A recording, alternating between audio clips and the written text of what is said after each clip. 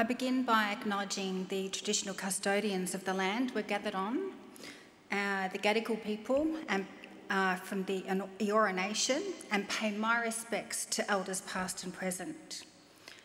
I'm an Aboriginal woman. I was born on Wurundjeri country, but my family are Kuku Yalanji in far north Queensland. I want to take this opportunity to acknowledge all Aboriginal and Torres Strait Islander people present this evening. Me too, powerful, international, so visible, from Tarana to Tracey, from Mona to Monica. Me Too is a thunderclap from women against a particular form of injustice. But for Aboriginal and Torres Strait Islander women, Me Too is not enough. It is not enough to recognise that Aboriginal and Torres Strait Islander women experience sexual harassment and all too often sexual abuse at work. And it is not enough to recognise that Aboriginal and Torres Strait Islander women, like others, experience harassment on the streets and the casual everyday misogyny, which sadly barely, women barely notice after a while. It is just not enough. But Aboriginal and Torres Strait Islander women need much more than me too. We are not just women.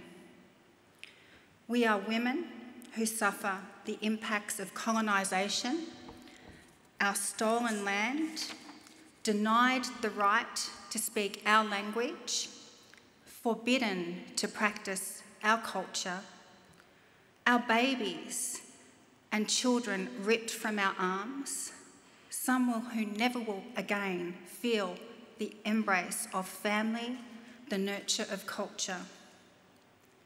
Do you know, I used to see my mum hiding behind the trees in the laneway, watching my brother and I at lunchtime at school. I only realised a few years ago why she did that. She was terrified that we would be taken, and she was trying to protect us. Tonight, I want to focus your minds and maybe your hearts too on this systemic, systematic violence and racism. Let's talk numbers. What I'm about to say next is horrifying, but I beg you, don't switch off. These may be just statistics to you, but for us, for me, they are personal and devastating. Sitting with these numbers is every Aboriginal and Torres Strait Islander person in this room. Look around. See us all. This is what's happening to us. Today, Aboriginal and Torres Strait Islander women are 34 times yes, 34 times more likely to be hospitalised because of family violence. And we are 10 times more likely to die from a violent assault than other women. Heard enough?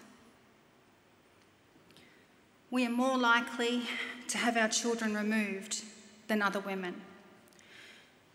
Our kids become lost in a big white system lost. Know that today there are about 18,000 Aboriginal and Torres Strait Islander children in out of home care, about 10 times the rate of other children in this country. Many live with families outside of community, disconnected from kin. That is another way governments destroy our culture. Our people are the most incarcerated in the world today.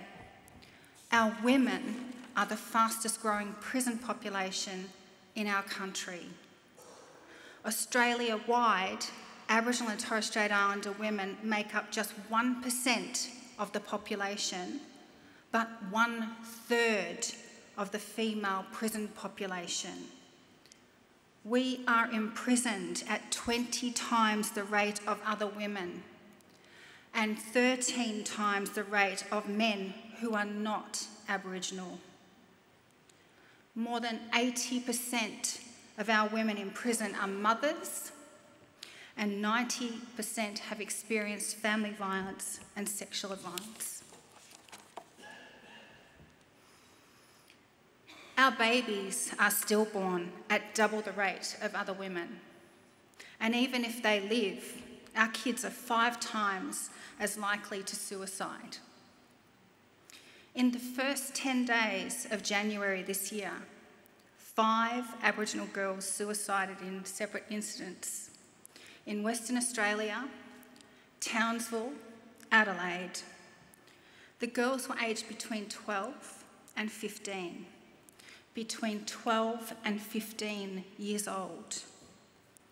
These are our babies, our children, our future. Statistically, as an Aboriginal woman, the non Aboriginal women in this room will outlive me by nine years. Had enough? Me too. I want you to understand that our fight is broader than gender. It must be. Our fight is also about race to fight the stigma associated with being black in this country, our country. We must confront the forces that demonise us daily in the media, that blame us for what white colonisation continues to do to us. As an Aboriginal woman, it is an honour to be standing here in front of you. It is an opportunity to change the story. But let me be clear you cannot and will never change this by taking charge, problem solving, and speaking for us. That approach makes us silent and invisible. You can be a real ally. Stand beside us, not in front of us and not over us support our women leaders and their communities by understanding that self determination for Aboriginal and Torres Strait Islander women and all of our people is the only true, honourable, and valid way forward. Learn about the real history of our country. Respect us as First Nations people, nurturing the land, our families, our kinship systems. I ask you to put your energy, commitment, and power behind our cause. I ask you to put your money into our fight. Our governments claim violence against women is a national priority, but here are the facts. While we welcome the recent funding commitment from the federal government for our frontline work until 2023, our organisations are still in crisis. We have not received a real increase in the past six years, six years to properly meet our service, frontline services for women's safety. And we continue to lurch from funding cycle to funding cycle our national body that represents the voices of Aboriginal and Torres Strait Islander women experiencing family violence still has no funding certainty from our federal government beyond 30 June next year. We are the only body that represents the voices of Aboriginal and Torres Strait Islander women on family violence, and we are at risk of losing our voice and visibility our voices must be at the centre of the national conversations, not sidelined and not shut out. Tonight, with incredible women on the stage and in the audience, we can link the needs of Aboriginal and Torres Strait Islander women, so often ignored and rejected, with the global Me Too movement. Thank you, Tracey Spicer, for moving over to give voice and visibility to the courage of Aboriginal and Torres Strait Islander women and the integrity of our cause. My big ask is this become an activist beyond Me Too, a champion for Aboriginal and Torres Strait Islander women's rights, our self determination, but follow our lead. And you can always give money, it's easy. We need it.